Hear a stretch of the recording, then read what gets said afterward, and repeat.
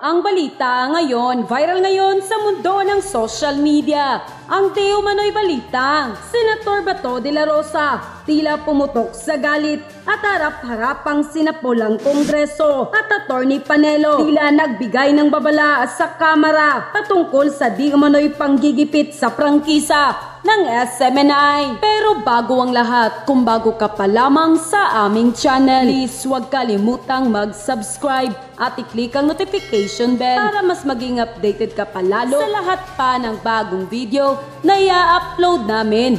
At eto na nga mga kababayan, SMNI News Anchor na si Ka Eric Celis at Dr. Loren Badoy nakalaya na matapos makulong sa loob ng Kongreso. Ngunit patuloy pa rin ang laban. Dahil patuloy pa rin ang hearing ng House Committee on Legislative Franchise sa prangkisa ng SMNI matapos ipag-utos ni PBA Party List Representative Attorney Migs Nograles ang isang resolusyon na suspindihin agad ng MTC ang prangkisa ng SMNI dahil sa di umano'y pangluloko at pagpapakalat ng mga maling balita at patungkol sa di umano'y maling balita. Sa 1.8 billion travel expense ni Speaker Martin Romualdez at marami di umano itong nilabag sa prangkisa ang SMNI. Kaya Senator Bato de la Rosa hindi napigilan ang sarili na magbigay ng kanyang buong suporta sa SMNI patungkol sa pagsuspende ng prangkisa nito at naniniwala ito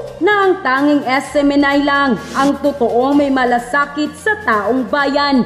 Ayon pa sa kanya, yung SMNI, napakalaki ng naitulong lalong-lalo na sa ating NTF-LCAC. Talagang yan ang radio station na nakita ko na talagang fearless na lumalaban sa CPP, NPA, NDF. Dapat yan ay suportahan natin sa mga hidwaan nila doon sa lower house. Kung mayroon man silang nagawang pagkakamali doon sa lower house, then gawin nila ang kailangang gawin na naayon sa batas. Napakalaki, sobrang laki ng naitulong talaga ng SMNI pagdating dyan sa ating counter-insurgency effort, unquote, at hindi rin napigilan ni Attorney Panelo na magbigay ng kanyang pahayag na tila babala sa Kongreso dahilan sa tila panggigipit nito sa prangkisa ng SMNI. At ayon pa sa kanya, Kamara di Representantes, tignan nyo naman ang kalakaran ng inyong mga ipinakulong.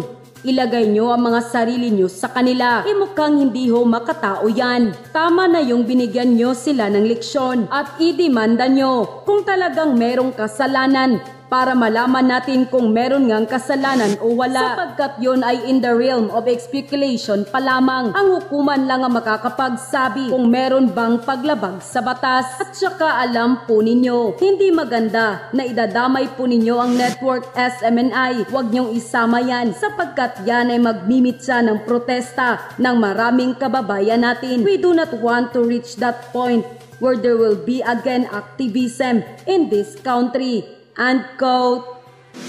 Kita po ninyo ang kagandahang dulot ng SMNI in our fight against the CPP, NPA, and NDF. What is your stand po, sir? I am so I am strongly supporting SMNI dahil uh, alam ko sinusugal ng SMNI yung kanilang uh, kanilang lahat ng resources pati na rin yung kanilang buhay, yung kanilang safety ay ng kanilang buhay. Kailan sinusugal para sa laban dito sa uh, CPP, NPA, NDF. So kaisa po ako ng SMNI kung saan papunta ang Seminay, nandoon din ako. Kaya kung darating man yung uh, ano yung uh, cancellation ng ng prangkisa ng Seminay, darating man yan sa punto na makapasa sa lower house at pupunta doon sa sa amin sa Senado, well, uh, masahan po ninyo ako na alam ko what Seminay is doing. Sir, aside from you, do you, we have also other comrades doon sa Senate na nakita ang kagandahan doon? Well, uh, some of our comrades are just uh, silent But uh, alam ko yung pulso ng kanilang puso. Alam ko kung saan sila, saan sila nagsasayin. Sir, mensahe po ninyo sa lahat ng viewers ng SMNI worldwide. Sa ating mga viewers ng SMNI no, worldwide, kung ano man yung mga pagsubok na uh, dinaranas ngayon ng uh, SMNI, well, uh, I am with you. I am with you. Walang iwanan ito. Kasama po niyo ako sa mga pagsubok na yan. And uh, just hope and pray na malusutan natin yung pagsubok na yan Huwag kayong mawalan ng uh, ng uh, ng lakas ng loob. Uh, fight lang, tuloy lang ang laban. Kasi kapag tayo mawala ng lakas ng loob, sino makikinabang? Yung mga kalaban natin sa kaliwa. Silang mamamayagpag kapag wala ng SMNI. Dahil isa lang ang nakikita kong istasyon na talagang sympathetic to the cause of this country, kundi ang SMNI. Yan lang nakikita ko. Yung iba, meron mag pinapakita pero hindi kasing tindi ng pinapakita ng SMNI kung gaano nila kamahal ang ating bansa. Kaya, andyan po ako, kasama niyo ako palagi. Tignan nyo tong mga mambabatas natin sa Pilipinas, mga Lods. Instead, mag-focus sila na gumawa ng batas para makatulong sa mga mamamayang Pilipino. Di ba? Instead, mag-isip sila ng mga inisyatibo nila para kahit papano yung mga kababayan natin sa iba't ibang sulok ng Pilipinas ay mabigyan ng magandang benepisyo, kahit papano tulong. Pero ano ang ginagawa nila ngayon? Ayon, hinahanting nila yung nagtatanong sa kanila. Hinahanting nila ngayon yung mga nagbabati ko sa kanila. Di ba? Andun sila, no? Hearing ng hearing ng mga walang kakwenta-kwentang mga tanong. Di ba? Mga walang kakwenta-kwenta. Nasasayang na lang ang oras nila. Di ba? Tingnan nyo nga ang ginagawa nila ngayon. Pinapatahimik nila si Ka Eric. Kinulong pa nila, pati si Badoy. Ipapa tanggalan nila ng prangkisa ang SMNI. Iki-question na nila si Kibuloy. Parang, di ba? Buti pa kayo, no? May mga time pa kayo dyan. Di ba? Ang, ang, ang laki-laki ng time nyo. Hiyang-hiya naman sa inyo. Ang ating presidente at vice president na nagkakasakit na nga sila sa kakaatupag sa Pilipinas. At heto kayo, saving your reputations ko no. Heto kayo, pinoprotektahan. Di ba? Yung Prince Charming yung si Tambaluslos. Grabe, no? Grabe talaga. Posibleng rason kaya pinag-iinitan ngayon ng SMNI dahil sa ugnayan nito sa mga Duterte. Ito ang komento ni dating Chief Presidential Legal Counsel Attorney Salvador Panelo kaugnay sa isinasagawang mga hearing sa Kamara na layong ipasuspinde ang prangkisa ng SMNI. Unang-unaan niya, ang SMNI ang tanging ginagamit ni dating Pangulong Rodrigo Duterte bilang plataforma upang ito ay makapagsalita tungkol sa iba't ibang issue ng bansa. ang nakikita natin, eh, napag-iinitan ang SMNI sa si Pastor Siki Buloy sapagkat unang-una identified siya kay Presidente Rodrigo Roa Duterte. Ang anak naman ni FPRRD na si kasalukuyang Vice President Sara Duterte ay nakikitang isang malakas na katunggali sakaling tatakbo ito sa 2028 national elections bilang Pangulo. Actually, mga Lods, yun yun.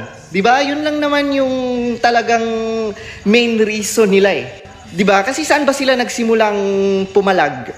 Nung ni-request ni former President Duterte, di ba, na isa publiko ang pondo nila, di ba? Open the book. Di ba? And ayun na, di ba? Kumbaga connect-connect na, no? Question na yung billion-billion travel funds ni Romualdez. Ayun, no? Domino effect.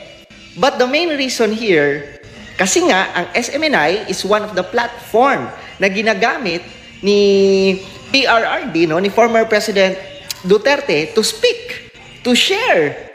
'Di ba? Kaya they want, no, they want na talagang i-shut down no ang SMNI. Kaya hinahanapan na nila ngayon yan ng butas, hinahanapan na nila ngayon ng violations, no, which is hindi pa naman pasok ang prangkisa, 'di ba, ng SMNI. Pero yun na nga, no, tino, pinagpapatuloy na nila yung ganyan. Kasi of course, ang akala siguro nila, pag wala na ang SMNI, pag na-shutdown na ang SMNI, ay makakaganti na sila. Ang akala siguro nila, di ba, kumbaga, malilin lang nila ang mga tao sa pinaggagagawa nila. Pero sa totoo lang mga lords, tayo Filipinos, no, tayo sambayan ng Pilipino, ay nakatingin lang, di ba, sa Kongreso. Di ba? Kumbaga, tinitingnan lang natin sila kung ano ba yung mga pinaggagagawa nila na, which is sobrang nakakatawa sobrang nakakatawa kasi isa lang naman ang nakukuha nating ibig sabihin sa lahat ng mga 'di ba ginagawa nila eh. Una, pinoprotektahan nila si Martin Romualdez. Kasi 'di ba issue naman yun ni Martin Romualdez eh. Si Martin Romualdez naman yung tinanong, 'di ba? At binatikos sa bilyon-bilyong 'di ba travel expense niya. Pero tingnan niyo ang mga kongresista, 'di ba? Grabe no, to the rescue. 'Di ba? To the rescue 'Di ba? Kay Tambaluslos.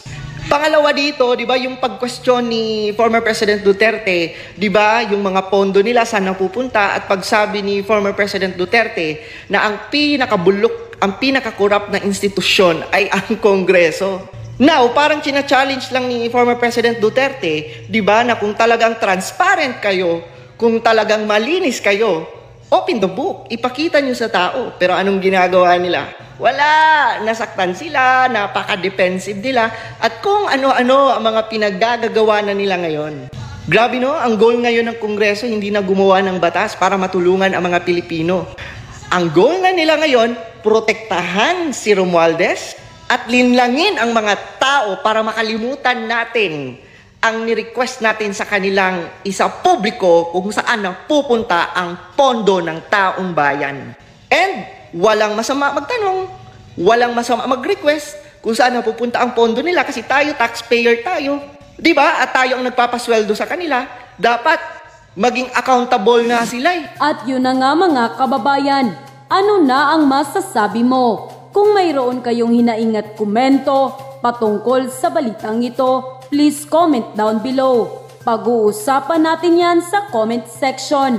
At kung nagustuhan nyo ang video, ay huwag kalimutang mag-like at i-share na din para mas marami pang makaalam at umabot ito sa marami sa ating mga kababayan.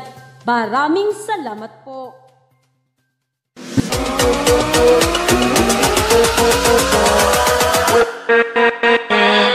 With feels